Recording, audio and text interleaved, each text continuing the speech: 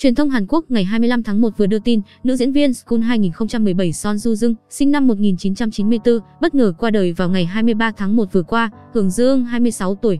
Nguyên nhân cái chết được thông báo là do tự tử. Cụ thể, Sport Seoul trích từ một nguồn tin thân cận, Son Ju Jung đã qua đời vào ngày 23 tháng 1.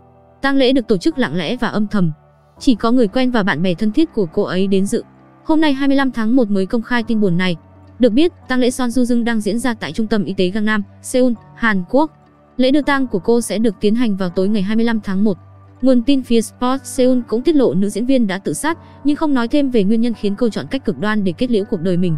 Tin tức Son Ju Jung bất ngờ ra đi khi còn quá trẻ và tương lai đang tươi sáng khiến khán giả bàng hoàng. Son Ju Jung sinh năm 1994. Tại showbiz Hàn Quốc, cô là diễn viên kiêm người mẫu trẻ đang lên. Người đẹp bước chân vào làng giải trí năm 2013 với bộ phim truyền hình Cầu vồng Hoàng Kim của đài MBC. Sau đó, cô xuất hiện trong các tác phẩm Điều ước cho em, Trường học 2017, School 2017. Ngoài ra, Son Ju Jung còn từng đóng MV Goodbye Road của nhóm nhạc nam Icon. Bên cạnh sự nghiệp diễn xuất, Son Ju Jung còn là một sao hàn được nhiều nhãn hàng ưa thích. Sở hữu gương mặt xinh xắn, khả ái và đặc biệt là đôi mắt hút hồn, cô liên tục được mời đại diện quảng cáo cho nhiều thương hiệu đình đám. Năm 2019, Son Ju Jung ký hợp đồng với công ty quản lý Sublime Artist Agency, dự định tập trung phát triển diễn xuất.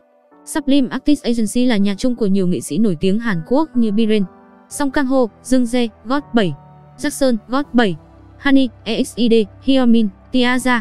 Hiện tin tức Son Ju Jung tự sát đang gây xôn xao dư luận xứ Kim Chi. Trên trang cá nhân của người đẹp quá cố, cộng đồng mạng để lại nhiều bình luận chia buồn và cầu nguyện cho cô an nghỉ. Cái chết của cô khiến các fan nhớ tới Suli cả hai đều sinh vào năm 1994 và đều lựa chọn cực đoan chấm dứt mạng sống. Ngay khi thông tin Song Yêu Dung qua đời được báo chí đưa tin, hàng loạt các thông tin về cô đều được đào lại, trong đó cư dân mạng nhận ra cô từng là nữ chính trong hai MV ca nhạc. Cả hai MV đều đồng thời xuất hiện trở lại trên các trang mạng xã hội. Vào năm 2018, cô xuất hiện trong MV Goodbye Road của Icon được phát hành vào ngày 1 tháng 10. Mới đây nhất vào năm 2020, nữ diễn viên tiếp tục đảm nhận vai nữ chính trong MV của Standing X Friend to Lover được phát hành vào ngày 22 tháng 5. Với giai điệu nhẹ nhàng và câu chuyện từ tình yêu đi tới tình bạn của nhiều cặp đôi bạn thân trong thế giới hiện thực, mặc dù không phải sản phẩm đình đám nhưng Friend to Lover vẫn nhận được đón nhận về mảng nhạc số. Làng giải trí Hàn Quốc chưa hết bàng hoàng thì mới đây lại phải tiếp nhận thêm tin tức rapper Jung Hoon Chon hoạt động dưới nghệ danh Aizon sinh năm 1992 từng tham gia show Methe Money 3 được tìm thấy bên ngoài căn hộ trong tỉnh. Trạng đã tử vong. Theo tin tức từ cảnh sát, bảo vệ khu phức hợp thấy Iron nằm bất động trong luống hoa với cơ thể bị chảy máu vào khoảng 10 giờ 25 phút sáng nay theo giờ Hàn Quốc. Iron lập tức được đưa đến bệnh viện nhưng bác sĩ cho biết bệnh nhân đã chết. Aizon nổi tiếng sau khi tham gia chương trình rap đình đám Hàn Quốc là show Me The Money Ba. Trong chương trình, tiết mục Malice và Iam do rapper thể hiện được đông đảo khán giả Hàn Quốc yêu thích.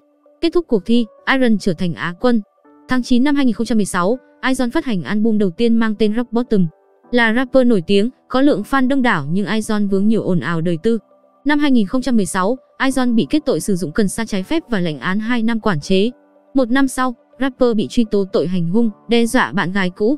Rapper gây thương tích cho bạn gái cũ vì cô từ chối thực hiện yêu cầu của anh ta trong khi quan hệ. Rapper nhận bản án 2 năm quản chế, 80 giờ phục vụ cộng đồng. Tháng 12 năm 2020, Sở Cảnh sát Dongsan, Seoul cho biết rapper Iron bị bắt vì hành hung bạn cùng phòng. Trước đó, cảnh sát nhận được cuộc gọi từ A, người bạn cùng phòng của Iron. A buộc tội Iron đã đánh anh nhiều lần bằng gậy bóng chày. Chiều ngày 25 tháng 1, cả Khaybiz bàng hoàng trước thông tin nam rapper đã ra đi, khiến dư luận hoang mang trước những áp lực mà các ngôi sao đang phải gánh chịu. Như vậy là trong cùng ngày Khaybiz phải đón nhận liên tiếp hai hung tin.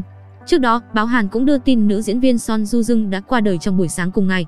Sự nghiệp đang lên, Son Ju Jung bất ngờ tự tử khiến ai nấy đều vô cùng thương tiếc và xót xa cho cuộc đời của nữ diễn viên xinh đẹp tài hoa.